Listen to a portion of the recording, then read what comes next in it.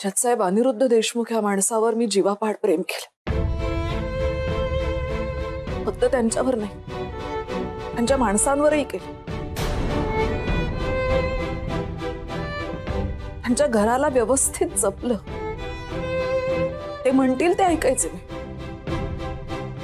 जजसाहेब गाणं माझा आत्मा होता, पण ते म्हणाले, सोड.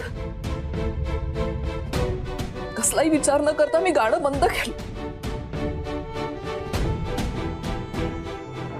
यथावकाश आम्हाला तीन मुलं झाली. मुलांचं करण्यात मी रमून गेले. माझं घर माझी मुलं माझे सासू सासरे आणि माझा नवरा. एवढंच विश्व होतं माझं. आणि मी हे सगळं अगदी आपुलकीने करत होते. तेव्हा माझ्या लक्षातच आलं नाही. त्यांना बायको नको होती. घर सांभाळणारी आणि त्यांच्या एक गुलाम हवी होती.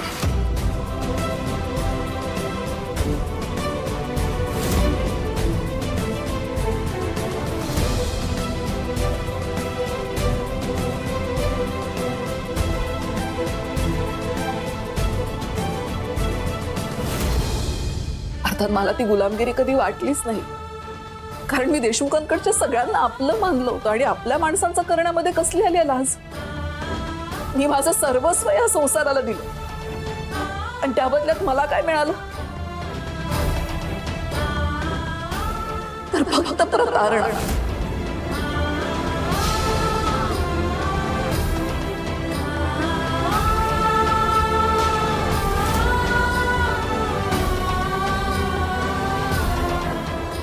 माझी राणी साधी मला यांच्यासारखं चार चौघात बोलता यायचं नाही शिक्षण कमी. त्यामुळे यांना चार चौघात मला घेऊन जायची लाज वाटायची. त्यांच्यासारखं फाडफाड इंग्लिश बोलताना यायचं ना मला. मला वाटायचं एखादी भाषा फक्त संवाद साधण्यासाठी असते.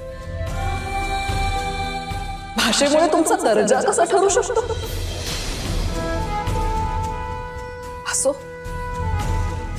त्यांनी मला आधीच सांगितलं असतं तर मी शिकलेही असते हो. पण मला काही शिकायची संधी दिलीच नाही. फक्त जबाबदाऱ्यांचं ओझं माझ्या माथी मारलं गेलं. त्यांनी मला प्रोत्साहन देण्यात माझी प्रगती करण्यात वेळ घालवला नाही हो. त्यांनी चार चौघात मिरवता येईल अशी एक मैत्रीण शोधली संजना.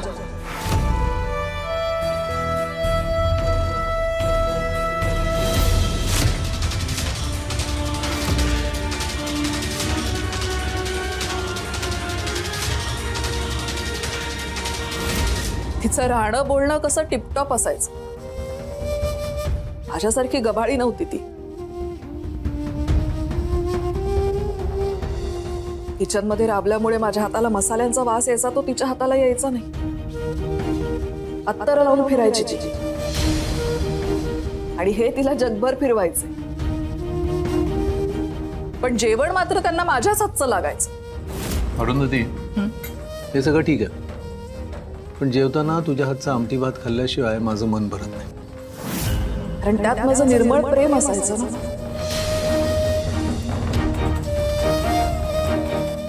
मलाही त्यांच्या ताटात गरम गरम पोळी वाढताना आनंद व्हायचा. मला असं वाटायचं हा माणूस राब राब राबतो पैशासाठी. पहिली पोळी त्याच्या ताटात पडली पाहिजे. अगदी त्यांच्या आवडीची भाजी चटणी कोशिंबीर मी अगदी रोज बनवायचे. देव मानायचे मी या माणसाला.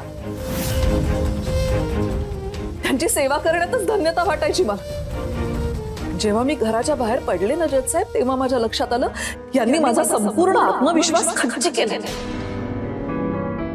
इतकं परावलंबी केलंय मला की मला साधे बँकेचे व्यवहारही जमत नव्हते. एवढ्या मोठ्या जगात मी कशी तग धरणार हे माझं मलाच कळत नव्हतं. माझं असं काही अस्तित्वच राहिलं नव्हतं. माझी मुलंही मला नगण्य समजत होती. आजीच माणसं जर मला कसपटा समान मानत होती, तर मी या जगात माझं असं स्थान कशी निर्माण करू शकणार होते साहेब तुम्हीच सांगा. माझी पहिली लढाई माझ्या बरोबर होती. फक्त माझ्या बरोबर